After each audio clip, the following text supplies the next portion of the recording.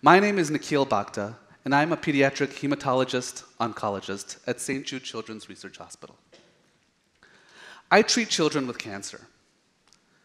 And one of the most important and difficult conversations that I have with my patients is that first conversation. Because you see, that's when all of my parents, they know something is going on. Sometimes they may know what it is, but there's fear and uncertainty that permeates every single second that they're sitting in that chair waiting for me to come into that room.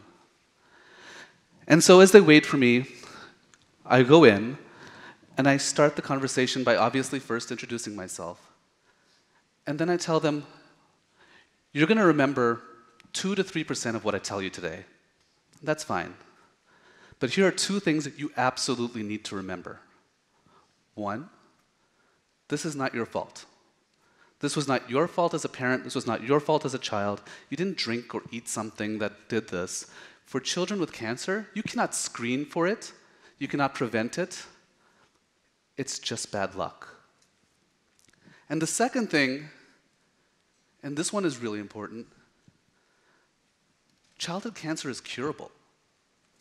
And so, out of that, that point, really, this is what we're looking for. So, this is one of my patients from Oklahoma. I actually treated him for lymphoma. And you can see here a picture of what a ritual is that we have at St. Jude.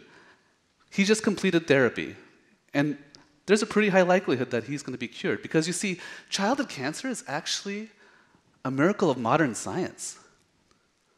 In the 1960s, almost every child would die of their disease. But today, over 80% of children will survive cancer. And for my patients, I treat leukemias and lymphomas. That's actually greater than 95% of most of my patients will survive their disease. So this is a, this is a celebration. And so when my patients are sitting there in that room, it's about giving them hope. And when they see this ritual done for other children, and they're standing out in the hallway or they're waiting for me to come in next, they know that their time is coming.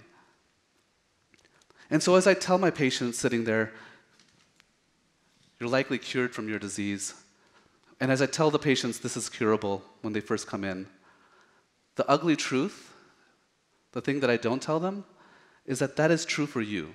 That is true for you in Memphis, that is true for you in the United States. But the reality is that for nine out of 10 children who live all over the world in resource limited settings, unfortunately, that is not true. So, that's where I work. I'm a pediatric oncologist, I treat children, but I also do global health. And in that capacity, really my role and my job is to figure out how can we develop the strategies to actually treat and deliver high quality care to children all throughout the world. And so my journey, my story actually started about 4 years ago. And it was through no plan of my own that it actually occurred. It was pure luck. Because you see, about 4 years ago, the leadership at St. Jude realized that Danny Thomas's charge to our institution that no child should die, die at the dawn of life, that that charge did not apply only to Memphis.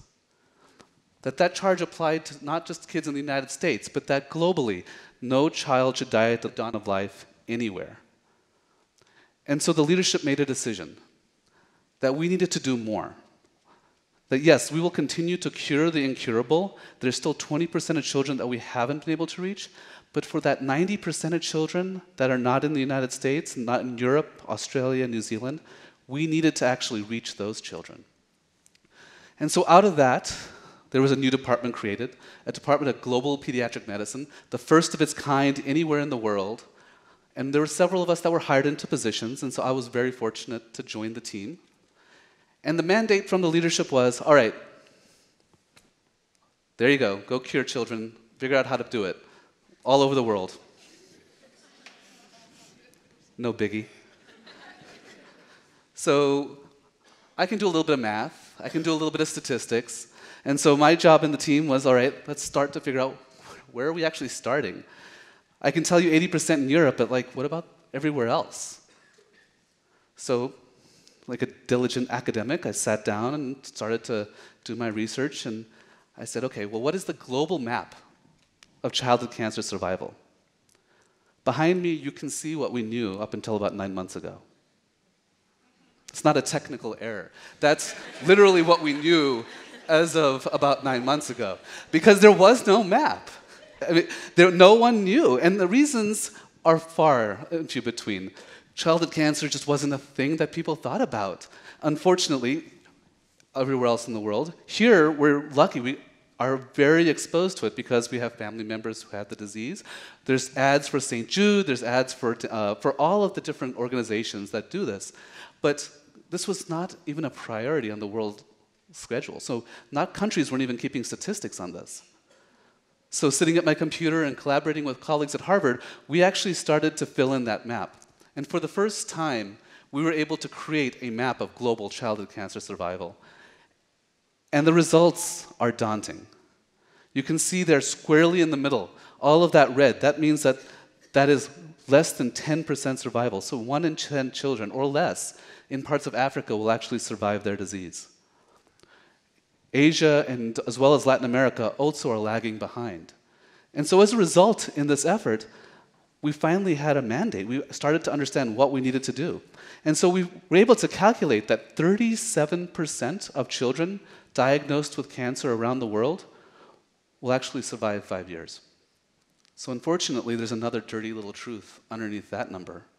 Because you'll see in bright red letters the word diagnosed. And that's not by accident. Because you see, when children get cancer, their symptoms mimic almost everything else. They'll have a long fever. Maybe they'll have a little bump on their neck. Maybe some bruising. And in the rest of the world, that's malaria. That's tuberculosis or pneumonia. And so many children in the world are never diagnosed in the first place. They go to see their doctor. Their doctor as, a, as you would expect, says, okay, you've got a fever, we'll give you some anti-malarial medications. They go home. They walk two days, perhaps, back to their house. They never make it back to the doctor. And those children end up dying as a result of their disease and never counted in the first place. They become missing children. And so for those children, when you start to incorporate their numbers, and these are hundreds of thousands of children, we went back and we actually calculated it out. We did all of our math and our fancy computer programs. And it actually turns out that when you incorporate them into the number, it's about 20% global survival from childhood cancer when all children are counted. And this really represents our mandate 20% global survival, 80% global childhood, uh, childhood cancer survival in the United States. That 2080 bookend, that is the health disparity that we're trying to solve for. So why is that the case? Why are children not surviving from cancer? And so this is a picture of, a of a hospital in Africa where I work. And you can see this kind of encapsulates the entire problem all in one. And if you contrast that from my patient from Oklahoma, what do you see? Well, Where's the gowns and the gloves, the things that you need to do to prevent infection? Where's the medicine? There's nothing hanging. Where's the pharmacist to mix it? The doctors, the nurses, and of course, where's the child in the bed, those missing children? This is the face of what we're dealing with. And of course, this is stark. Not everybody's starting from the same level, but you got to understand see, when we treat children with cancer, it's not just me or the nurse, there's an entire team. And if you miss one single piece, it's like a house of cards. The whole thing falls apart. So you've got to build an entire system. But of course, when you're starting from scratch or if you're starting to build, how do you actually prioritize? How do you start to make those decisions? So this is actually a picture that we took last week in Zambia while I was running a course with a variety of different folks um, from St. Jude. And we brought doctors, we brought nurses and pharmacists, we brought the radiation folks, the surgeons. We also had patients and survivors. We had the Ministry of Health, and we had civil society organizations. And we brought them all together. And we asked them the question all right, let's be productive here. Using post its, our good old friendly post its, on this poster, start putting down all your ideas for how we can go ahead and start to actually solve the global childhood cancer survival issue here in Zambia. How do we improve survival in Zambia? Zambia is a country in Africa, in southern Africa. And so they went to, I mean, these guys were great. They've listed all these things on the board, and they were really proud of themselves after the 30 minutes when we, they started to talk about that, uh, all these different ideas that they had and get excited about them. And then we turned it around and we said, look, guys, all right, that's great. You did a whole bunch of things. Prioritize your top five. And it was like pulling their child away from them. I mean, there were some arguments about which one was most important and how do they make these decisions. But it's a process. This exercise that we did is the same exercise that's done on the global level every day by organizations like the World Health Organization or the United Nations and others. And except, instead of looking at different ideas for how to treat childhood cancer, they're having to look at things like pneumonia, TB, coronavirus. They're prioritizing that one through five. And as a result, until in the last year or so, childhood cancer not just wasn't a post-it that was numbered, it wasn't even on the board. We didn't even know what global survival was. So we started to run the numbers and we started to educate. And so what we did was we actually went and we talked to the World Health Organization and the United Nations. And we started using their statistics and their numbers and started speaking in their language because you see, for 20, 30 years, pediatric oncologists, we were over here. We were talking in our own little jargon. We were like acute lymphoblastic lymphoma, high dose methotrexate, all of blah, blah, blah. And then over here, you had the global health community, and they're talking disability adjusted life years and cost effectiveness and all of their lingo. And the problem was no one was talking to each other. So we started having that conversation. And we started to say, look, childhood cancer is a priority. Look at your own statistics. It's actually a child health and a cancer priority when you look at disease burden. And you tell me that it's not cost effective? Well, I actually ran the numbers, and it turns out it is. It's actually very cost effective. That's a technical term. The WHO very cost effective is actually something that they came up with. Um, they're very, very creative over there. So we pulled all these guys together, and we actually, in 2018, announced a bold new initiative called the Global Initiative for Childhood Cancer, such that by 2030, the global goal would be to double the cure rate for children with cancer and alleviate suffering for all others. And this was a seminal watershed moment. We finally had inserted ourselves into the global conversation. But it was also a little bit of an existential moment for those of us in the department, because that's great. We can run our math, we can do our statistics, but at the end of the day, I'm a doctor. I'm used to putting my stethoscope on my patient's chest and actually treating them for their disease and having that comforting conversation with their parents, regardless of what ends up happening through their journey with the disease. And how do I do that at a global level? I can play on my computer, but that doesn't really make an impact in the hospitals that we work at. So we started to think about how can we transport our knowledge? How can we do something beyond our walls at St. Jude? And in that conversation, we actually started to have a lot of different perspectives. And so we sat down with our partners all throughout the world. And we actually started to ask them, how can we help you? What can we do at St. Jude that can actually support your teams? And this was a little scary because we were a little bit worried that people were going to ask us, for a new hospital or a bunch of equipment that was really expensive. But like everything in life, when you actually start talking to people and understand their problems, a lot of the times reality and logic kicks in. And what the two things we noticed were one, everybody was solving for the same problems. This wasn't unique to Guatemala or the Philippines or Zambia. Everybody was trying to work out the same issues. And there were a lot of creative people out there that had some good ideas, but no one was sharing it. And the second thing that we learned was that they just wanted to be empowered. They needed help to understand how do they create their teams? How do they do? How do they build what we've built at St. Jude? They saw us as, yes, that city on a hill, but how can they actually achieve that? And so when we had these conversations with teams in Zimbabwe, for example, they actually said, we need to have better treatments because we don't really know how we're going to treat all of these kids. So we started working with them to adapt the treatments because we can't just take what we do at St. Jude and plop that down. That would be lethal. The bottom line is what we do at St. Jude is so advanced at times that you have to have that whole team. And if you don't, you have to shrink it down a little bit. The, the teams from Zambia, they said, hey, we're treating with the stuff that we have from, from India. We feel comfortable with it, but we have no idea if it's working. Can you help us to create something to collect our outcomes and to understand how that works?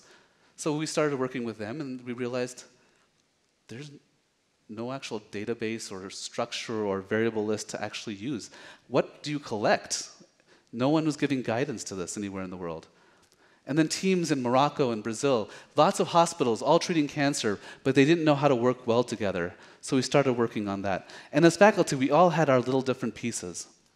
But what the realization and the real aha moment for us was each of us working in these different domains, in these different areas, they were all parts of a whole. It was a cycle. I could work on adapting treatment, but I needed somebody to help me to monitor outcomes. We could, once we monitor outcomes, we need to know this, the context in which that care is being delivered. And within that care context that's there, we have to be able to develop improvements and interventions and coach teams through that. And then here's the big kicker once we improve things, we actually need to further adapt. We need to actually move further and do this on a rapid cycle. And so, we, as we started realizing what we had created, we realized we had an engine we had for the first time developed really the engine that was going to drive childhood cancer survival around the world.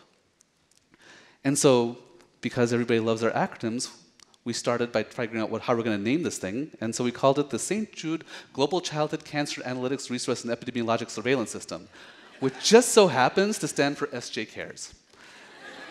it's pretty snappy. But this is a platform. This is what we can do. So, yes, I can sit at my computer and run numbers to the crows come home, but at the same time, I'm able to sit there and start coaching and mentoring and develop and deliver the, the tools so that I know that the doctors all around the world are using that information for the patients that are sitting in front of them. Because it makes no sense for me as a doctor to go and work and live for a year or two years in some of these countries because there's not enough of us. We can't scale that. This is how we scale. And this is how we're scaling. We're already working with 120 different institutions all throughout the world, and this map is already outdated. We're continuing to grow our efforts, and we're continuing to make this vision of Danny Thomas, which really, for all of us, is what we believe, which that no child should die at the dawn of life anywhere. Thank you.